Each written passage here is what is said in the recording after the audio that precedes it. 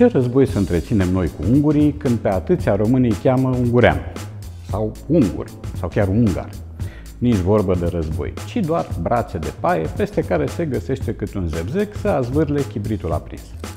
Și dacă tot vrem să tratăm relaxat chestiunea, zic eu că n-ar fi rău să observăm simpaticele coincidențe identitare ale unor cupluri îndeopște transilvanene, în care pe el îl cheamă Albu, iar pe ea Feher, adică tot albu, dar în maghiară, sau pe ea o cheamă negru, iar pe el Fechete, adică tot negru, dar în maghiară. Revenind la ungurii și la ungurenii noștri, e momentul să spunem două-trei vorbe despre câțiva dintre cei care, sub flamura acestui nume, au ocupat sau ocupă scena publică în diferite domenii.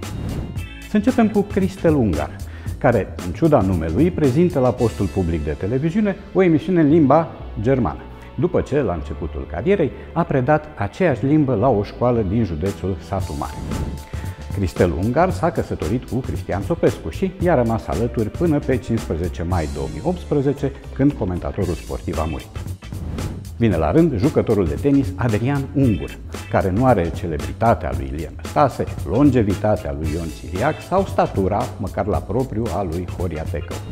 În schimb, a avut aproape un alt Ilie, pe Ilie Balaci, căruia i-a fost ginere din ziua căsătoriei cu Liana, fica mai mică a fostei Glorii Poltene.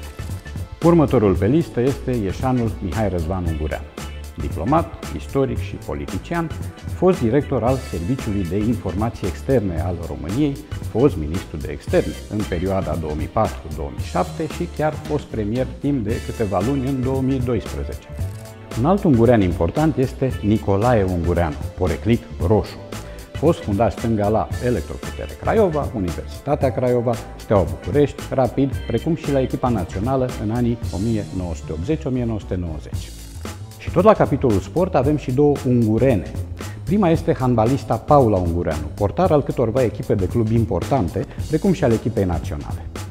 A doua ungureană este Teodora Ungureanu, o gimnastă de înalt nivel, medaliată în trei rânduri la Jocurile Olimpice de la Montreal din 1976 și componenta echipei de gimnastică feminină condusă de Nadia Comăneci. Închei cu Traian Ungureanu, jurnalist și om politic român, ales în două legislaturi consecutive ca europarlamentar din partea PDL. Publică mai multe cărți la Humanitas, printre care Manifestul Fotbalist, Proștii Europei, Olimpia în exil, Tehnica neputinței la români, Războiul timpurilor, Eroi și jocuri populare sau Încotro duce istoria României. Și mă rog, ar mai fi Baciul Ungurean din Miorița, dar să trecem.